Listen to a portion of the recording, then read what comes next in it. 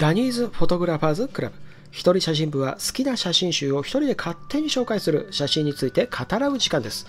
今日は渋イケメンの国三井正さん。サブタイトル無駄にかっこいい男たち。こちらを紹介します。音楽の CD をジャケ買いするというのは時々あります。写真集の場合はこの表紙とそして帯の言葉。これに惹かれて思わず手に取ってしまうそういうことがあるのではないでしょうか。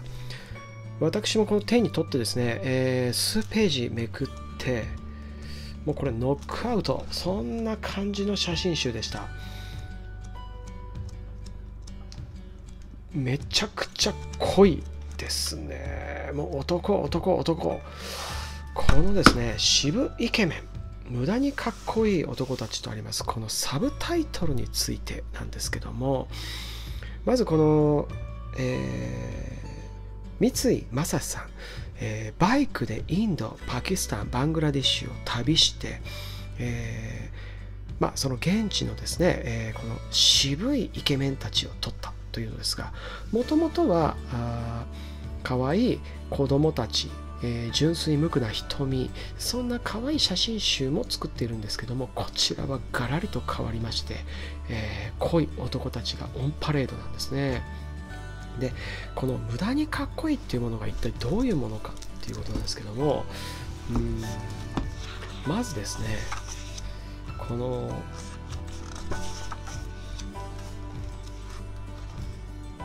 モテを全く意識していない。というふうに、えー、書かれています。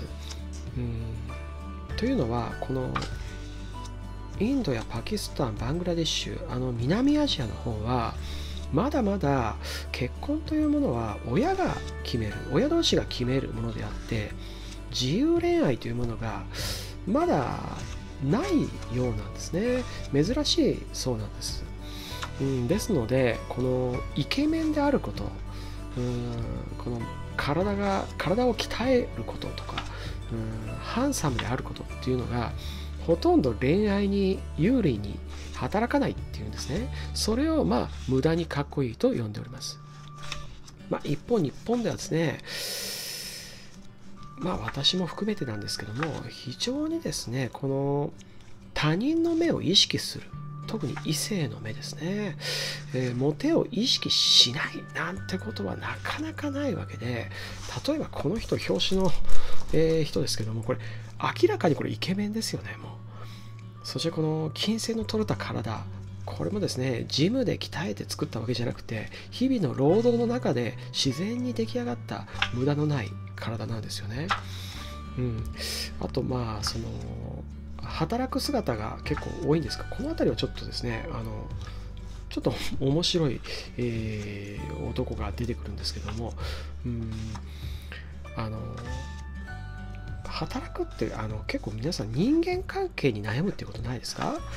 うんなんか自己実現であるとかうん社会的な意義であるとか自分らしさとかうんさらにはですね嫌な上司とか言うことを聞かない部下とか主に人間関係で悩んでいてですねその仕事そのものに悩むというのはあんまないような気がするんですよね、えー、翻ってこちらの渋イケメンのこの国ではですねなんかそういうものとは無縁の世界そんな風に見えてきます、えー、今日一日をですねしっかり生きる目の前の仕事に全力で取り組む。そういう姿がですね自然とこの表情顔体そしてこの空気雰囲気ですよね。この佇まい。そういうものを作ってんじゃないでしょうかね。まあそれにしてもですねこれこれなんかもううまそうですねタバコが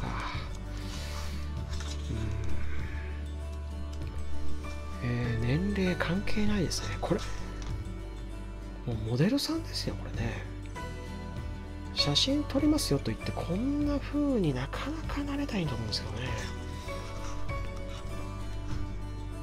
えー、あとですねこちらの写真集見てるとですねこの三井さんのこのポートレートですよね。この構図とか光の使い方がめちゃくちゃ勉強になりますよね。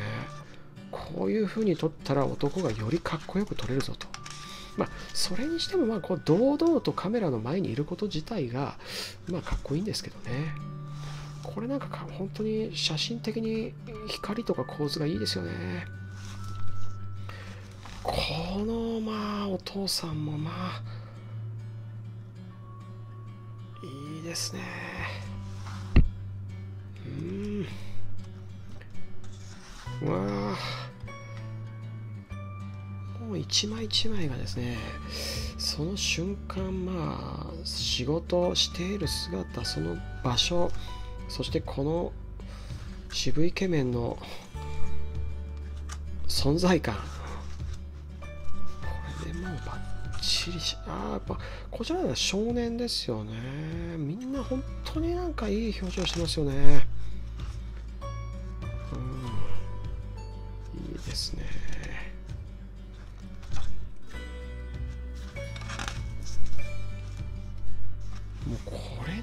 かもうなんか自転車のリヤカーの上にこう乗ってるだけなんですけどね。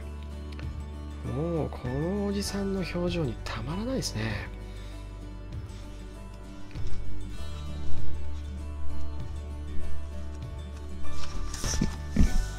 これ俳優さんですよねこれ。また普通の人なんですよね。結局このありのままの姿、えー、他人の目を意識しない。堂々とカメラの前に立っている。俺を撮ってみろよと。そんなあ、ね、コミュニケーション、うん、無言のコミュニケーションがここにあると思うんですよね、うん、こうありたいものですよね。うん。まあですね翻って自分を見てみますとですねえー、ジムに行って体鍛えようかなとか白髪を染めたりですね、アンチエイジングだとか、ね、ちょっとまあブランドのいい服買ってみようかなとか、ああ、浅いですね。今日一日目の前の仕事を精一杯やる。うん。まあ、こんなことを思う写真集、なかなか素敵だと思いませんか？うん。えー、これサイン入れていただきました。実は三井正史さんワークショップもやってまして、えー、っと名古屋のとあるインド料理店でえ写真の撮り方やインドの旅の仕方などいろいろ楽しくフレンドリーに、えお話ししてくださいました。その後一緒に食事をして、えー、まあ、カレーを中心に食べたんですけどね、え日本の方が美味しいとおっしゃっておりました。今日は渋イケメンの国三井正史さんご紹介いたしました。